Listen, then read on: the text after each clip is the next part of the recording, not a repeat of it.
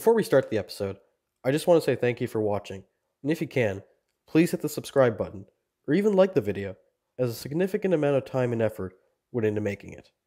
The CBU Historical Society is not a large university society, and we don't monetize any of our videos for money. Therefore, all our videos are made solely for entertainment and educational purposes. So, thanks again for watching.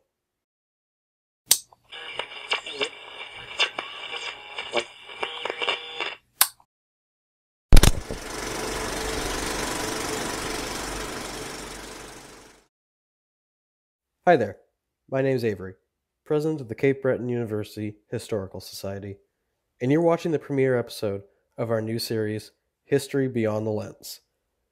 History Beyond the Lens is a series that looks at films from a historical perspective, which means that we dissect movies and find ways to connect them to our own history, either through parallels, behind the scenes historical inspiration, or film theories.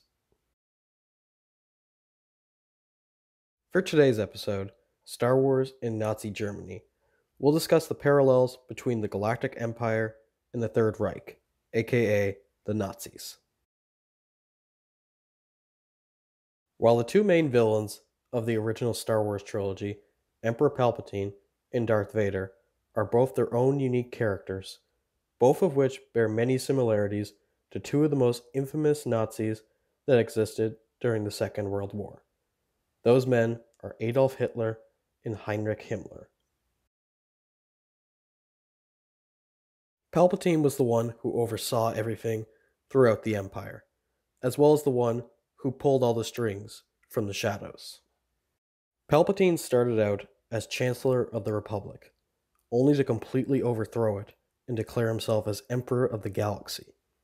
He was a type of leader who ruled through fear and always had contingency plans up his sleeve in case anything went wrong. Let's shift things over to the real world now.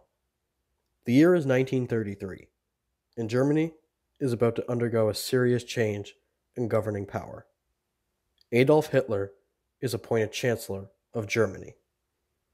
Now, despite being declared Chancellor in 1933, Hitler actually didn't have much power yet, mainly because the Nazi Party didn't have enough seats in parliament. On February 27, 1933, exactly four weeks after Hitler has become Chancellor, the German parliament building, known as the Reichstag, is mysteriously set ablaze. Essentially caught in the act of burning the building, authorities apprehended a Dutchman named Marinus van der Lubbe. He was supposedly connected to the Communist Party as well.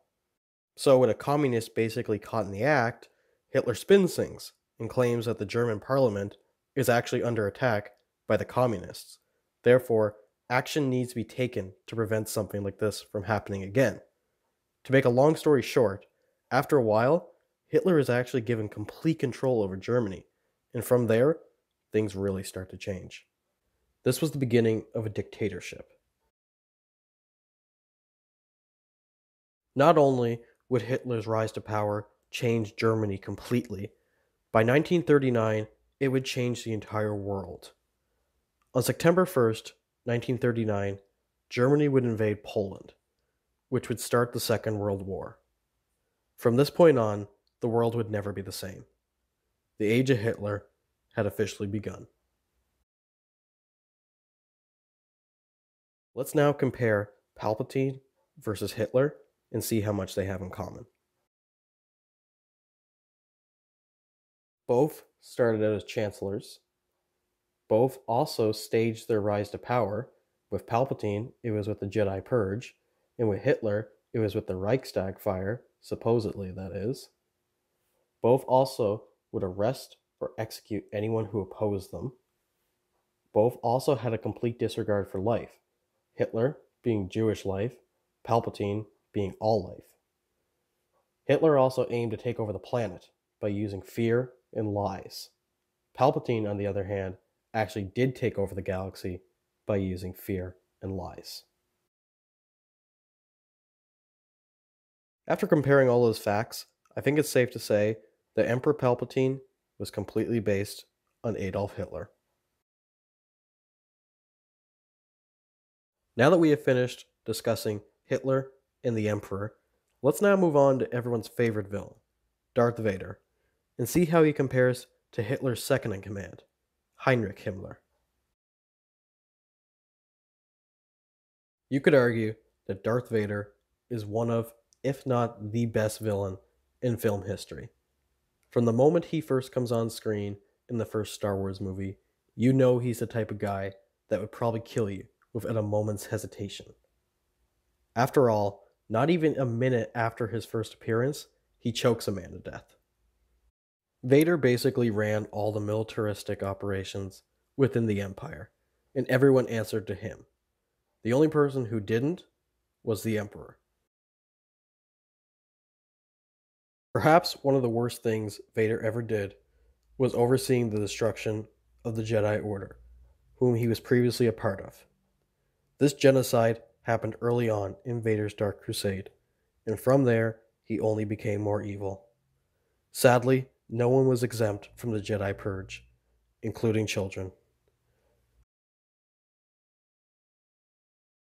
Let's now shift things back to World War II and examine SS leader Heinrich Himmler and see how his villainous acts inspired Darth Vader. Himmler joined the Nazi Party in 1923 and was later promoted to Reich leader of the SS in 1929. More on the SS later in the video. By 1934, Himmler was promoted to be the head of Germany's secret state police, which were known as the Gestapo.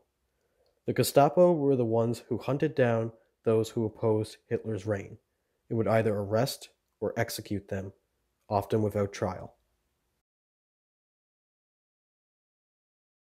To make matters worse, Himmler was also the one that personally oversaw and set up the infamous concentration camps. Like many of the Nazis, Himmler showed no compassion towards those that were Jewish and didn't even view them as people.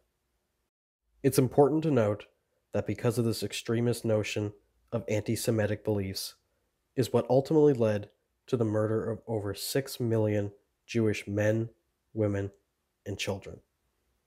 While Hitler is often to blame for this mass genocide, Heinrich Himmler is equally to blame, as well as numerous other Nazi officials.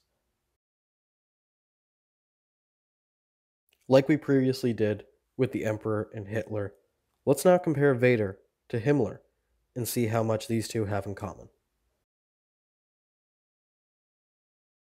Both were second in command to a dictator both oversaw a mass genocide based on religion. Both hunted down anyone who opposed their leader's rule, and both would not hesitate to exterminate the opposed religion, including children. With all the evidence and comparisons presented, I can confidently say that Darth Vader is completely based off of Heinrich Himmler. When it comes to the troopers and officers, Star Wars doesn't even attempt to be subtle about its parallels to the Nazis. The similarities are so obvious that many fans have jokingly referred to the Empire as space Nazis. Next to Darth Vader, the Stormtroopers are probably the most recognizable thing about the Empire in Star Wars in general. Their stark white armor and intimidating helmets have become ingrained in pop culture. Even more so, their complete inability to hit anything has become a running joke throughout the series. It's actually laughable. Technically speaking, the term stormtrooper actually originated in the First World War from the German army. During World War I, stormtroopers were a type of soldier that specialized in assault and infiltration. The stormtroopers often wouldn't fight in the front lines. Instead, they would target key areas of the battlefield to weaken the enemy lines. Fun fact believe it or not, the Germans of World War I often would refer the Canadian soldiers as stormtroopers as well. This is actually supposed to be taken as a compliment, as the Canadians were surprisingly fierce soldiers on the battlefield, and like the German stormtroopers, they too specialized in assault warfare. The whole purpose of the stormtroopers changed in World War II. Their new purpose was to serve as the elite bodyguards of the Fuhrer, aka Hitler.